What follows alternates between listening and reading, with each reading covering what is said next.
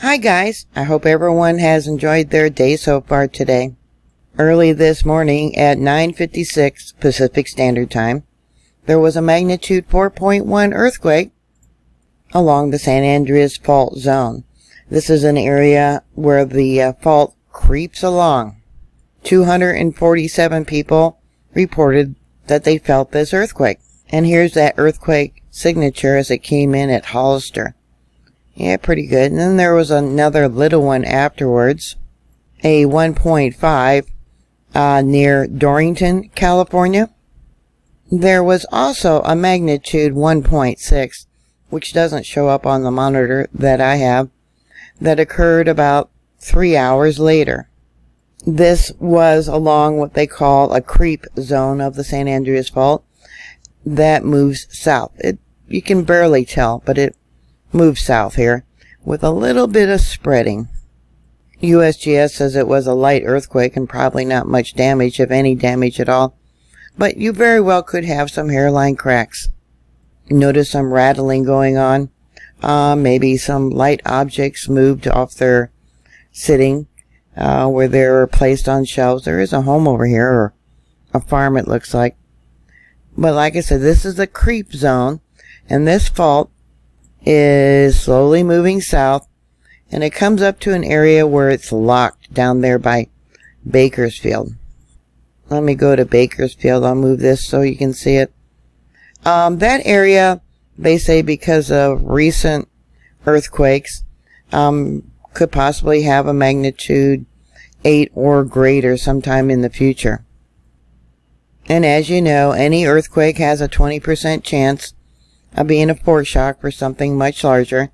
This red is the locked segment of the San Andreas Fault Zone. Here we got Parkfield. They had a 6.0 back in 2004.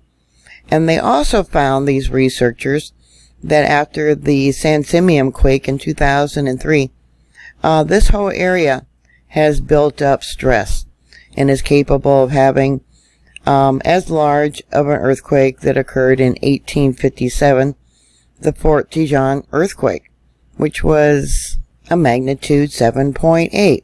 I'll give you a link to this paper.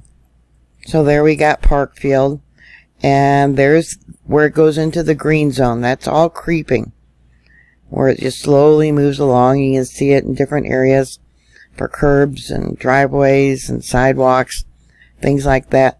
But it's all locked down here. So when you have these earthquakes, 4.1, right there, not far from this locked zone, yeah, it's just going to put up more pressure, more stress. There's an image of some of the felt reports, but when I click on it, you know, felt all the way down by Bakersfield, it doesn't show me the individual reports. It just shows you in blue how far out it was felt.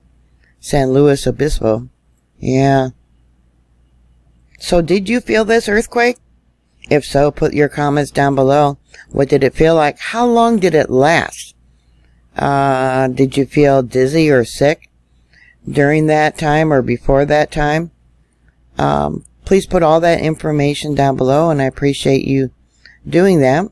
How many of you are actually prepared for a large earthquake? Actually, only about 10% probably are prepared.